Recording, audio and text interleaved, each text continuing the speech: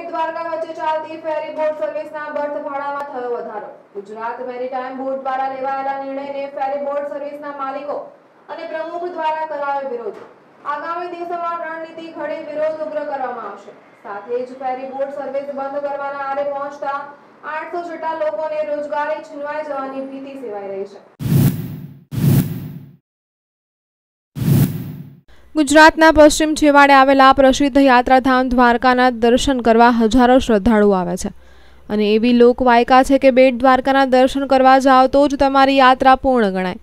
યાત્રાધામ બેટ દ્વારકા જવા માટે દ્વારકાથી ત્રીસ કિલોમીટર દૂર પ્રાઇવેટ વાહન અથવા બસ દ્વારા જવું પડે છે.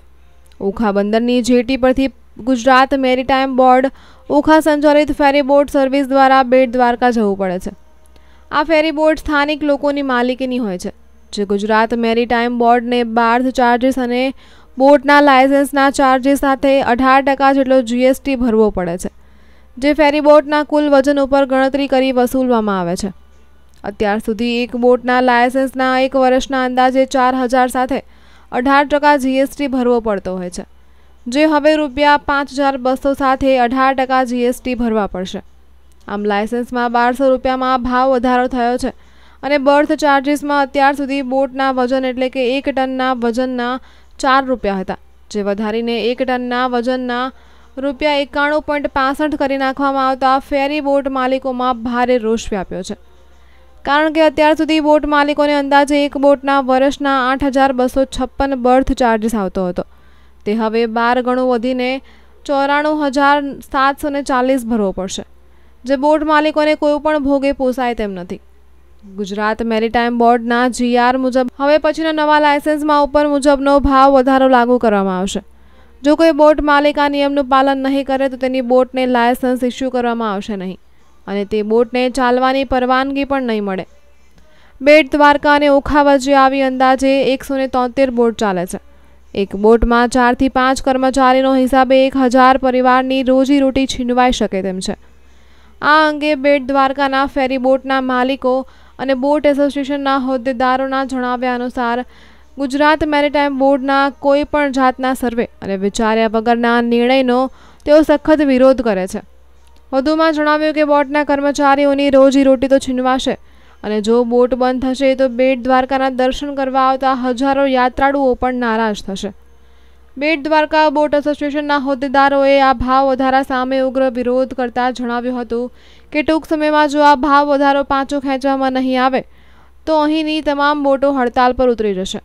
જેથી ઓખા અને બેટ દ્વારકા વચ્ચેનો તમામ વહીવટ અને આવક જાવક બંધ થઈ જશે. બેટ દ્વારકાની આશરે દસથી બાર હજાર વસ્તી અને રોજના હજારો શ્રદ્ધાળુઓ ઉપર આની સીધી અસર જોવા મળશે. આ અંગે ઓખાની ગુજરાત મેરીટાઈમ બોર્ડના અધિકારી કેપ્ટન આર કે રમન તેમની ઓફિસે પૂછતાછ કરતાં તેઓ બહાર ગામ હોય તેથી ફોન પર જણાવ્યું હતું કે આ ભાવ વધારાનો જીઆર તારીખ આઠ માર્ચ બે હજાર ઓગણીસના રોજ ગાંધીનગરથી આવ્યો હોય. માટે ઉપર હતી આવતા ભાવ વધારા અને નિયમો મુજબ અમારે સ્થાનિક બોટ માલિકોને જાણ કરવામાં આવી છે. બોટ માલિકોને આ અંગે કોઈ પ્રશ્ન હોય તો તેઓ અમારા ઉપરા અધિકારીઓને જાણ કરી શકે છે. આજે બોટ ઉપર જે બર્થ ભાડો જે વધારવામાં આવેલો છે જે સરકારશ્રી આના ઉપર ગંભીરતાથી જો વિચાર નહીં કરે, તો અમારી રોજીરોટી બંધ થઈ જશે અને ન છૂટકે અમારે ગાંધીજીની માર્ગે જવાની ફરજ પડશે અને અમારી રોજીરોટી જો બંધ થશે, તો આવનાર દિવસોની અંદર અમારે પંદરસો જેટલા પરિવાર પણ રખડી પડીએ તેવી શક્યતાઓ છે. ઓચિંતાની કોઈપણ જાણ વગર સરકારશ્રી દ્વા- દ્વારા અમને કાલે મૌખિકમાં જાણ કરવામાં આવેલી છે કે આપનું લાયસન્સ પૂરું, બોટનું લાયસન્સ પૂરું થવામાં આવેલ છે અને તેનો ચાર્જીસ હવે પછી જે નિયમથી ત્રણ હજાર રૂપિયા ભરવામાં આવતું વાર્ષિક તે હવે પાસઠથી સિત્તેર હજાર રૂપિયા ભરવામાં આવશે તેવું અમને ઓચિંતાનું જાણ કરવામાં આવેલ છે, જેથી અમે બોટ ચાલકો ગભરાઈ અને આવનાર દિવસોની અંદર સારી મિટિંગ કરી અને ગાંધીજીના માર્ગે જવાની તૈયારી કરી રહ્યા છીએ. હું મોસીમ જાડેજા બેટ દ્વારકામાંથી બોલી રહ્યો છું અને મારી બોટ અહીંયા ચાલી રહી છે. આમાં હું ખલાસી અને ટંડીલનું કામ કરી રહ્યો છું.